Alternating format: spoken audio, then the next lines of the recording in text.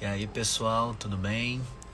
Estamos aqui online para comentar com vocês. É, muita gente mandando mensagem, muita gente empolvorosa aí com esse comunicado que acabou de sair do USCIS, tá? Dizendo que uh, vai promover agora ações uh, práticas concretas no sentido de diminuir os backlogs, diminuir os tempos de processamento de diversos processos, tá? diversos formulários, e isso interessa diretamente a nós, diretamente a nossos clientes. Uh, algumas notícias muito interessantes. Eu estou aqui até com o computador aberto para a gente poder comentar esse comunicado aí. É de uma forma mais, mais concreta, observando uh, cada item ali que eles incluíram nesse comunicado. Uh, muito, muito interessante mesmo. Notícias excelentes. A gente fica muito feliz. Essas ações já eram esperadas há algum tempo e eu estou aqui no aeroporto aguardando aqui o embarque mas não podia deixar de vir aqui falar com vocês. Leão Group sempre em cima do lance e como a gente sempre fala, a gente não trabalha com, com boatos, com especulações, a gente trabalha com fatos e agora sim a gente tem um fato em mãos, um comunicado oficial no site do USCIS. A gente vai inclusive postar aí no nosso, no nosso Instagram, na, nas nossas redes sociais, o, o link para que vocês acessem esse comunicado. E vamos lá, vamos começar a comentar o que, que esse comunicado é, fala, fala sobre esse, essa melhoria aí nos prazos, tá? Inicialmente, eles falam que eles vão tomar ações internas para diminuir os ciclos de processamento dentro do USCIS. O que, que é isso, pessoal? Existe uh, o chamado ciclo de processamento, é o tempo de residência de um caso dentro dos internos do USCIS, tá? Então, é, a gente uh, percebe e normalmente ele está atrelado a esses processing times que eles divulgam para o público. Então, quando você olha lá o seu formulário, por exemplo, é um I-140, tá? um pedido de residência através de embasamento profissional, e ele diz que o processing time do, do I-140 hoje leva em torno de um ano e dois meses, é o ciclo de processamento interno de quanto tempo o oficial de imigração demora para adjudicar o seu caso, para dar uma decisão final. Tá? Hoje, uh, passando aqui um pouquinho para vocês terem uma ideia do quanto eles querem uh, acelerar todos esses processos. Uh, a gente tem uma tabela aqui, vocês vão ter acesso a esse link. É, a gente tem uma tabela dos New Cycle Time Goals, que seria os, os, os novos os novos períodos desse ciclo, o, o objetivo que o USCIS quer chegar. Para vocês terem uma ideia, é, uh, o, o I-140, que é muito conhecido, né, que é o pedido de residência por, por uh, qualificações profissionais, hoje está levando em torno de um ano e meio, dois anos. Eles estão buscando dar essa resposta em até seis meses, tá? Eles vão fazer ações para que essa resposta saia em até seis meses, tá? Um outro formulário muito conhecido dos brasileiros, que é o I-539, tá? Que é o pedido de mudança de status ou de extensão de status, tá? Que hoje está levando um ano, um ano e pouco. Hoje o, o, a meta do USCIS é mudar esse tempo de processamento para três meses, pessoal, três meses, tá? E isso inclui também o I-765, que é o pedido de autorização de trabalho, e o I-131, que é o pedido do Advance Parole, que é a, a autorização de viagem, tá? Então hoje, situações que estão levando uh, um, um ano e meio, dois anos, eles estão querendo cair para três meses, seis meses no máximo, tá? Como que eles vão fazer isso? Contratação de pessoas, novas uh, tecnologias a serem adotadas internamente com os oficiais de imigração, tá? E é, essa novidade hoje é muito importante porque eles já vinham falando isso há muito tempo, mas o americano ele não se compromete a fazer nada que ele não possa cumprir. Então, o fato deles terem tornado isso oficial hoje, inclusive com uma tabela dos nova, das novas metas, o americano ele não gosta de estabelecer uma meta e não cumprir. Então, é, isso dá uma confiança para a gente sim que ações concretas vão ser tomadas. A gente já tem percebido uh, em relação a autorizações de trabalho, renovações, uh, uma aceleração, um volume muito maior de autorizações de trabalho chegando, tá? Doutora Mariana me perguntando aí quem já passou desse prazo, tá incluído também nesse novo ciclo, tá? Obviamente, eles não vão cumprir no seu caso que eles estão se comprometendo, isso é para os casos que entrarem agora, mas todos os casos que já estão em andamento, eles vão já inserir nessa nova tecnologia, nesse, nesse no, nessa nova força-tarefa para que a resposta seja dada muito antes. Então, é, na verdade, eles começam curando esse backlog para depois, quando o backlog tiver uh, já resolvido, para os novos casos já eles já adotarem esses novos tempos de processamento, tá? Outra notícia excelente, pessoal. O item aqui Expanding Premium Processing, eles estão oficializando, tá, que vão sim adotar Premium Processing para novos formulários, tá? E isso inclui o tão aguardado EB2NW, o I-140 National Interest Waiver, tá? Então, galera do NW, o SAS acabou de tornar oficial que vai começar, eles vão expandir para muitos formulários, inclusive o I-539, olha que legal, I-539 é, vai ter Premium Processing agora, então se você pede uma alteração para estudante ou uma alteração para uma, uma extensão de status, eles vão futuramente incluir um Premium Processing para isso, mas eles já avisaram que inicialmente a expansão do Premium Processing vai ser para EB1C, tá? EB1 de Multinational Executives, que é de executivos internacionais, tá? Normalmente o EB1C é uma evolução do visto L1, quando, quando a situação do executivo internacional passa a ser permanente, a necessidade passa a ser permanente em solo americano e para o I-140 da B2NW. E nesse New Cycle Time Goals, eles estão botando EB2NW no Premium I-140 Premium para ser respondido em duas semanas, pessoal, duas semanas. Vamos aguardar aí ansiosamente isso, de que forma eles vão efetivar isso, mas muito legal da gente ver que isso se tornou oficial tá? É um comunicado oficial. Vocês vão ter acesso ao link aí assim que a gente uh, disponibilizar. Nossa equipe aí de marketing já está, o pessoal do, da TI já está uh, disponibilizando isso aí. Daqui a pouco o link está aí para vocês acessarem, tá?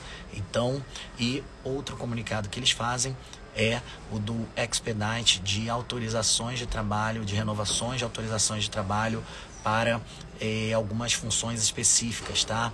É, como uh, child care que eles falam, né? Health care e child care, que seriam uh, pessoas que trabalham ali na, na assistência da saúde e com crianças infantis. Então, nesse child care aí a gente está falando de uh, cuidadores de criança, professores do, do ensino fundamental, tudo isso, toda essa parte vai ser abarcada por, um, uh, por uma, uma análise mais expressa ainda dessa renovação de autorização de trabalho para que esses trabalhadores não fiquem sem, uh, sem a elegibilidade para trabalho.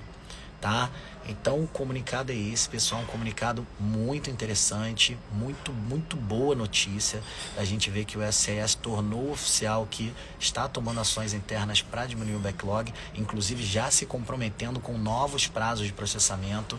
E a gente já vinha falando disso, né? Que hoje a pressão é muito grande das empresas americanas para a contratação de, de trabalhadores estrangeiros, para que esse, esse backlog hoje que está insustentável dentro da imigração, muita gente perdendo emprego por falta de autorização de trabalho, por exemplo, isso estava criando uma situação insustentável e hoje o USCIS tomando uma, uma decisão muito legal, tornando oficial de que vai assumir um compromisso para diminuir esses tempos de processamento e que já está tomando ações. Inclusive, vocês vão ver lá quando acessarem o link que já existe as metas deles de tempo de processamento. E se eu conheço o americano, se eu conheço o USCIS, eles não vão se comprometer com uma coisa que eles não vão cumprir, tá?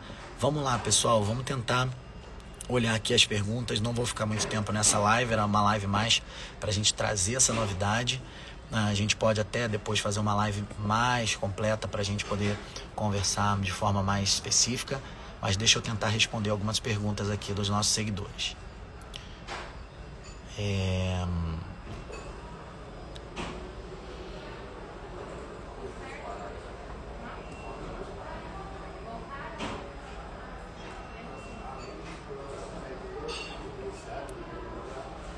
Olha lá, ó, Felipe Souza falando aí pra gente, ó, recebemos nosso retorno ontem, um ano e cinco meses. Obrigado, Leon Group. Felicidade não cabe no peito. Pessoal, graças a Deus, a gente está publicando aí também. Recebemos uma chuva de aprovações, graças a Deus, chuva de aprovações ontem. E a gente está também, felicidade aqui nossa, de toda a nossa equipe, não cabe no peito. É, devagarinho a gente vai soltando aí quais são as profissões, quanto tempo demorou, como é que foi mais ou menos um resumo do caso. Tem aprovação depois de RFE, tem aprovação sem RFE, tem todo tipo de aprovação. Pessoal, graças a Deus, uh, índice de aprovações altíssimo aqui dentro da Leon Group e a gente fica muito feliz nisso. Felipe, parabéns aí, tá? Parabéns para vocês e seguimos juntos aí até o verdinho chegar à mão de vocês. É... Beleza, deixa eu ir seguindo aqui nas perguntas. E aí, Jaqueline, tudo bem? Uh, vocês conseguem sponsor? Não, não trabalhamos como agência de emprego. É, uh, legal, obrigado, doutora Mariana. Vamos aqui. E aí, Mirley, tudo bem? Uh, uma dúvida: se aplico para o EB2 estando como turista? Lili Araújo. É, Lili Araújo, né? Deve ser. É, se aplico para a EB2 estando como turista até sair o Combocard, fico fora de status? Não, tá? A partir do momento que você ajusta o seu status, vamos ver, voltou, voltou, pessoal. Então, a partir do momento que você aplica o seu EB2, faz o ajuste de status, estando em solo americano, o seu status fica garantido pelo I-485, que é o pedido de ajuste de status, quando você torna oficial a sua intenção de residência para as autoridades imigratórias. Tá, Maria perguntando, e aí Maria Lima, só para novos casos? Não, tá? Primeiro eles vão utilizar essa nova estrutura para tirar o backlog, tirar esses casos que estão já fora do, do prazo normal, zerando isso. Eles querem chegar para os novos casos nesse, nesses tempos aí que vocês vão ver a tabela no link uh, que eles publicaram. Tá? Então não fiquem preocupados. Ah, o meu caso já passou, não é novo caso, vai ficar de lado. Não, primeiro eles vão nos casos antigos, vão usar toda essa nova estrutura, essa nova tecnologia para zerar esses casos antigos. Depois eles vão pro, é, se comprometer com esses novos, novos prazos aí para os casos novos. Resultado em duas semanas tem que pagar para isso? Sim, Cristiane. Premium Processing, no caso do, do EB2, por exemplo, vai ser 2.500 dólares extras de taxa. Tá? Respondendo a Vivi Lentini também. Premium Processing, 2.500 extras de taxa. Uh, não, não, não conseguimos sponsor para B3 Unskilled. Uh, uh, pode deixar salva essa live, a gente vai deixar a live salva, tá? Até o fim do dia, para quem estiver trabalhando ou não tiver possibilidade de ter visto. Quando chegar em casa, assistir com calma, fiquem tranquilos. É, vamos lá. Legal, Felipe já li aqui. Um, onde procurar vagas temporárias. Elisângela, digita um Google aí que você vai ter acesso a bastante informação nesse sentido. É... Léo, o aumento do número Jana, Jan, Jana Nazário. Léo, o aumento do número de green cards é para o ano fiscal americano de 21, 22? Exato, tá? É, o ano fiscal ele inicia em outubro, iniciou em outubro do ano passado, de 2021, e encerra nesse ano de 2020, em outubro de 2022, tá bom? Então, como eu tenho falado em todos os nossos vídeos aí, nos nossos conteúdos, a hora é agora, essa é a hora do EB2, tá? Então, se você tem os requisitos ou acha que tem, marca uma consultoria com a gente e vamos realizar, vamos dar entrada como eu tenho falado para vocês, depois não digam que eu não estou avisando. Chuva de aprovações ontem aqui na Leon Group. A gente vai publicar elas aí, das mais diversas profissões. Tá? E tenho dito também, se você tem a possibilidade de aguardar no Brasil, fazer procedimento consular, opte pelo procedimento consular. Já temos notado uma diferença boa uh, em índices de aprovação entre consular e ajuste de status.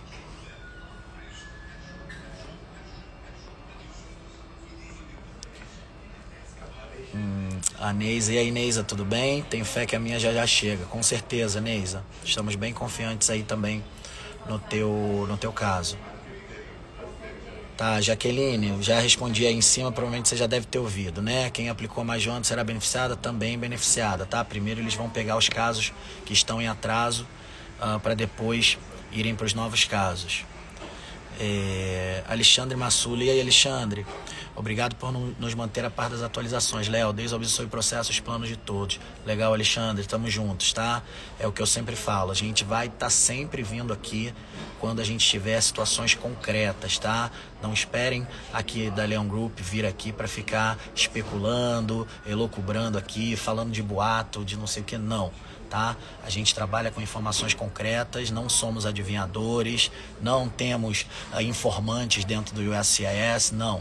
A gente trabalha com situações concretas, com comunicados oficiais e a gente tem esse compromisso de sempre trazer para vocês aqui casos concretos, situações concretas e não ficar aqui uh, propagando boatos. É... Paula Silveira, mas precisa ter qualificação para conseguir emprego aí ou só experiência? Paula, sempre tenho falado isso. Hoje a experiência conta mais do que nível acadêmico. Não confunda essa palavra, não use qualificação como, uh, como, como nível acadêmico. São duas situações diferentes para as autoridades imigratórias. Qualificação para as autoridades imigratórias significa você ter qualificação numa profissão você ter experiência, você ter realizações comprovadas nessa profissão. Então, se você tem 20 anos de experiência como pintor, você é considerado um profissional qualificado, tá? Agora, se você tem é, um doutorado em neurociência e você não tem nenhum ano de experiência, você não é considerado um profissional qualificado. Você é considerado um profissional com nível acadêmico. Você não vai conseguir um pleito migratório se você só tiver nível acadêmico. Agora, se você só tiver experiência, você consegue. Tá? Então, essa é a grande diferença. Uh, tipo em metalurgia, que é na área da indústria. Paula, diversos casos aprovados na área industrial, inclusive é uma área que eu tenho aconselhado demais, profissionais da área industrial, tá? Metalurgia, mecânica, é, é, elétrica, teve, Olha aí no nosso feed vários clientes aprovados, o caso do Lincoln, o caso de outros clientes que são profissionais da área técnica, que trabalharam aí na CEMIG, trabalharam na Eletrobras, trabalharam na Vale do Rio Doce. Todos esses profissionais aprovados, aprovados e a maioria deles até sem a RFE uh, dentro da B2NW, tá? Mirley, e aí Mirley, Léo me organizando para entrar com processo consular. Legal, Mirley, ótima opção. Doutora Mariana, acham que o Premium Processing só para casos novos, Léo, antigos também não? Doutora Mariana, Premium Processing para todos os casos, tá? Premium Processing é, ele pode ser adotado em qualquer momento do processo. E uma novidade muito boa, existe uma que eles chamam de Final Temporary Rule, que é uma, uma orientação tá, de que a adoção desse isso o Senado determinou isso que a adoção que era um medo da, da, das pessoas que não tinham condição de pagar o premium processing de que uh, se viesse uma chuva de premium processing os casos regulares seriam prejudicados. E aí o USCIS fez um termo lá de conduta um ajuste com o Senado prometendo que a adoção do premium processing não aumentaria o tempo de processamento dos casos regulares tá? Isso é uma, uma situação muito interessante também que era um receio de quem não pudesse pagar os 2.500 adicionais de Premium Processing uh, sairia prejudicado, né? Porque eles focariam uh, todas as atenções nos casos de Premium Processing. E não, o SS já se comprometeu com o Senado americano de que a adoção de Premium Processing não vai prejudicar os casos regulares. Green Card para qualificações como treinador de futebol, coach Bruno Cardoso. Bruno, temos vários treinadores de futebol aprovados no, no, com pedido de green card, tá? Conversa com a gente que a gente passa a estratégia. Uh, Jéssica Handler. Léo, prazo para receber minha refera é 23 de 3, até agora nada. Por que essa demora? Tô super nervosa. Jéssica, correio tá tendo muito problema com correio, tá? Mas fica tranquila que quando você pede a segunda via, você informa aí pro, pro USS que você não recebeu e o prazo ele é ajustado de acordo com a data que você recebeu. Então não fique, não fique preocupada não que isso não vai, não vai afetar o, o, o prazo, nem vai botar em risco aí perda de prazo no seu caso. Renato de verdade, quais são os requisitos? Renato, dá uma olhada aí no nosso feed, tá? A gente tem bastante material acerca dos requisitos aí para os pleitos imigratórios. É, uh, essa novidade é também processo consular? Sim, Neisa, consular também, tá? A Eveline, aí Eveline, nossa aprovação está junto. Deve estar tá aí às portas, Eveline, se Deus quiser, tá? Uh, prazo para os comos. Isso aí, o, Maria, realmente os comos também vão ser acelerados, tá? Como eu falei, eles estão uh, se comprometendo, tá? A trazerem esse prazo de emissão de Comocard para o prazo que era antigamente, três meses, tá? Então a aprovação de I-765, que é autorização de trabalho, e I-131, que é o Advance Parole, para três meses. Então a tendência é que esses prazos de processamento de Comocard venham a se aproximar dos três meses, como era há um tempo atrás, antes da pandemia. Andréia, e aí, Dedé e a Pântano, Andréia. É agora que meu green card chega, muita fé. Legal, André, isso aí, muito importante a gente ter um pensamento positivo, fé em Deus aí, porque é, é, isso ajuda muito aí a atrair energias boas aí para o processo. Uh, o Premium Processing já está em vigor para B2, sempre esteve em vigor para EB2, tá, Daiane? Mas não na categoria NW, tá? O EB2 com sponsor, o EB2 onde existe uma oferta de emprego de uma companhia americana, o, o Premium Processing sempre existiu, tá? O que, a novidade é que eles estão já assumindo um compromisso de implantar nas próximas semanas o Premium Processing para o EB2 na categoria National Interest Waiver, tá? Então, isso é uma notícia muito relevante, muito legal. E uh, para o EB1C também, para executivos de multinacional. Arthur Santos, cheguei agora, já fiz a primeira consulta com vocês sobre a B2NW. Qual é o tempo de espera para aprovação desse caso? O Arthur, hoje está variando de 5, 6 meses até 3 anos, tá? Bem variado, depende muito do oficial de imigração que vai pegar o seu caso. É necessário ter inglês fluente? Não, tá? O inglês não é um requisito dentro da legislação imigratória no momento. Eletricistas com, eletricista com 10 anos de experiência, muito, muito bom perfil. Precisamos analisar agora uh, que tipo de relevância você teve dentro da área, da sua área de atuação. Então, o ideal é marcar uma consultoria individualizada para que um dos nossos advogados analise seu perfil de forma mais específica. O que seria Premium Processing? Franciele, dá uma olhada aí uh, no início da live, vai ficar gravado, tá? Para você se informar melhor, tá? Próximo, resumindo aqui, é quando você paga uma taxa extra uh, para as autoridades migratórias para elas analisarem o seu caso de forma expressa. Uh, doutora Mariana, quanta notícia boa, Léo. Obrigada mesmo pela prontidão e comprometimento de vocês com a divulgação. Legal, Mariana. Obrigado aí pelo, pelo elogio. É, Babi Benato, depois que aprova o I-140, quanto tempo demora para sair o green card no processo consular? Uma média. Babi, hoje, hoje a gente tem visto aí algo em torno de 3 a 5 meses, tá? Para uh, ah, agendamento da entrevista e, e, e aprovação da admissibilidade no consulado do Rio. Você pode dar um exemplo de um caso que foi negado o green card? Beta, a gente pode falar disso em alguma live. Eu acho que pode ser interessante a gente falar de alguns casos de negativa e quais os motivos. Paulo, dá uma notada nesse tema aí. Eu acho que é interessante a gente adotar um, uma, um viés de análise uh, inverso, tá? Da gente falar um pouquinho de, de quais motivos uh, causam uma negativa, tá? Anota aí pra gente poder fazer uma, talvez uma live debatendo sobre isso. Um... Quem já está em processo pode pagar o premium. Maria, Maria já respondi lá, doutora Mariana. Pode sim, premium próximo em qualquer momento do caso. Um, tá, Elise, eu vou deixar salvo sim, tá? Tá no trabalho. É, o horário realmente é um pouco complicado para acompanhar, mas a gente queria estar em cima da informação, trazer essa notícia para vocês e a gente vai deixar salvo aí até o fim do dia para quem não pôde assistir ao vivo. Léo aumentou o tempo do EB2. Hoje o processing time uh, oficial da imigração para EB2, se eu não me engano, é em torno de um ano e três meses, tá, Neisa? mas a gente tem notado para casos consulares, tá? Uma análise bem rápida. Hoje a gente tem tido uma média aí de seis a oito meses aí para resposta de casos consulares. Uh, Giba, nosso processo teve RFE, mas o documento não chegou no escritório.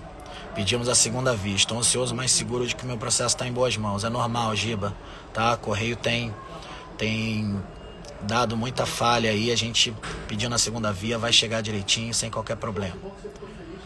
Uh, e aí, Denis, tudo bem? Leon Group sempre saindo na frente com as informações. Parabéns. Obrigado, Denis.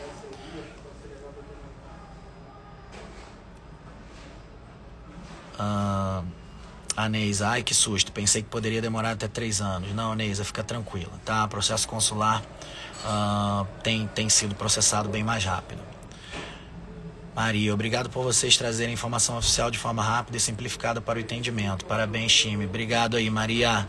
Obrigado. É, a nossa intenção sempre é essa, tá?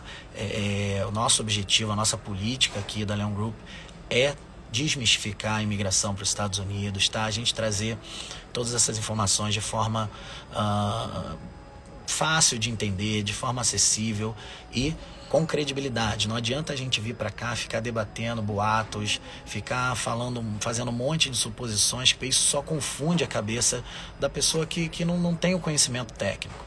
Tá? Então, sempre que a gente vier aqui conversar com vocês, é por situações concretas. A gente não trabalha com suposições, boatos, adivinhações. Como eu sempre brinco aqui, a gente não tem informante dentro do USCIS.